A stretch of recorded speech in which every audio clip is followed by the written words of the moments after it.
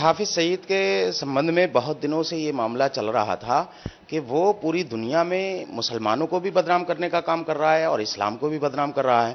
ساتھ ہی ساتھ خود ہندوستانی مسلمانوں کے لیے اس نے اتنی زیادہ مشکلات پیدا کر دی ہیں کہ اس کی وجہ سے ہندوستانی مسلمانوں کو آج فرقہ پرست طاقتیں نشانے پر لے رہی ہیں اور اس کو جو ہے وہ شکی نظر سے دیکھ رہی ہیں۔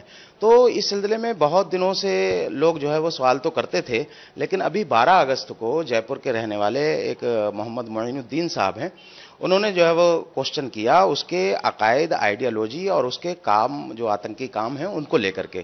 تو انہوں نے چونکہ کوشچن میں یہ ڈال دیا تھا کہ اللہ رسول کی شان میں گستاخانہ کلمات اور پنکتیاں اور عبارتیں لکھنے والوں کو یہ مسلمان مانتا ہے اور اسی وچاردھارا کا پرچارک اور پرسارک ہے، تو ایسے گمراہ کن عقیدہ رکھنے والے آدمی کی تقریریں سننا اس کو مسلمان ماننا کیسا ہے؟ تو ظاہر سی بات ہے کہ جو اسلام مخالف وچاردھارا رکھے گا، تو حافظ سعید چونکہ اسلام مخالف وچاردھارا رکھتا ہے اور ساتھ ہی ساتھ اس آئیڈیالوجی کا ماننے والا ہے جس میں اللہ و رسول کی شان میں بے پناہ گستاخیاں کی گئی ہیں۔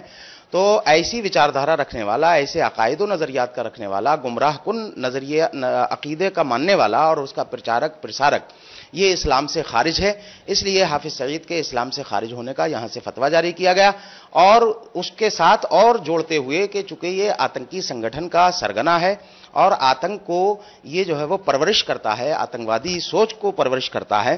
لہٰذا اس کی کسی بھی تقریر کا سننا حرام اور ناجائز ہے۔ اس کی باتوں پر یقین کرنا ناجائز اور حرام ہے۔ اور اس سے کسی بھی طرح کا سمبند رکھنا یا اس کی کسی بھی طرح کی مدد کرنا، یہ اسلامی نظریے کے اعتبار سے، فتوے کے اعتبار سے ناجائز و حرام ہے۔ لوگ اس کی تقریروں سے بھی دور رہیں، اس کی باتوں سے بھی دور رہیں اور اس سے کسی بھی طرح کا کوئی اپنا سمبند نہ بنائیں۔